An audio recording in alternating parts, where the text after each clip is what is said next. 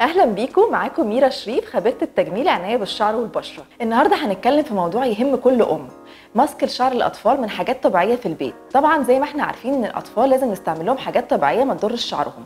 النهارده هنعلمكم إزاي تعملوا ماسك من البيت بمكونات بسيطة جدا موجودة في كل بيت مصري. تيجوا معايا نشوف يلا الماسك.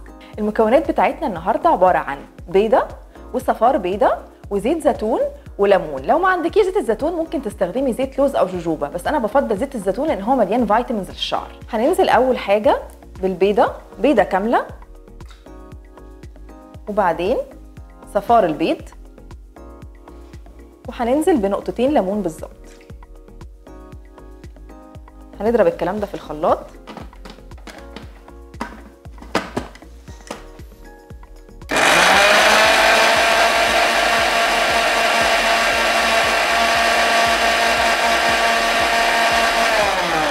وبعدين هننزل بزيت الزيتون تدريجيا حبة حبة وأضرب.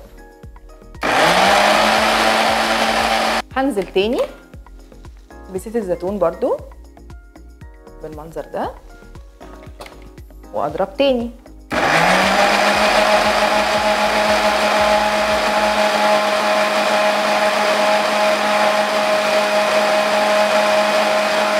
وبعدين ننزل بآخر حبة عندنا. طبعا إحنا في الأول ما قلناش إن إحنا هنحط كوباية زيت زيتون كاملة. يعني المقدار اللي أنا حطيته ده كوباية كاملة بس نزلت بيها تدريجيا.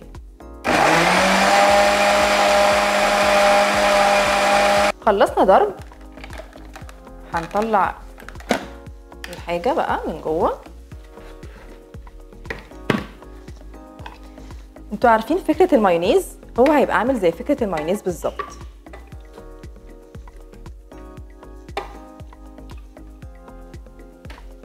بالمنظر ده. بقى معانا حمام كريم طبيعي من البيت لشعر الأطفال. أقدر أستعمله مرة في الأسبوع. كده بقى عندنا حمام كريم جاهز من البيت لشعر الأطفال. ممكن بقى أنا أضيف من عندي في البيت معلقة عسل أو أحط كبسولات فيتامين اي حمام الكريم ده بيعمل إيه؟ بيطري شعرهم جدا وفي نفس الوقت بيغذيه. ممكن أحطه من الجذور لغاية الأطراف. يعني هقسم الشعر sections وأحط على كل خصلة حمام الكريم وأسيبه لمدة ربع ساعة أو تلت ساعة وألبس ال shower cap بعد كده أغسله بالشامبو عادي جدا. يا ترى إيه فوائد حمام الكريم ده؟ أول حاجة البيض بيمد الشعر بالبروتينات اللي الشعر محتاجها. تاني حاجة الليمون بيلمع الشعر جدا وزيت الزيتون بيطري الشعر وبيمنع التقصف وكمان بيتقل الشعر. فده مش هيخليني إن أنا أقدرش أحطه على الجذور. لا أنا هحطه على الجذور وأحطه على الأطراف وأحطه على كل الشعر.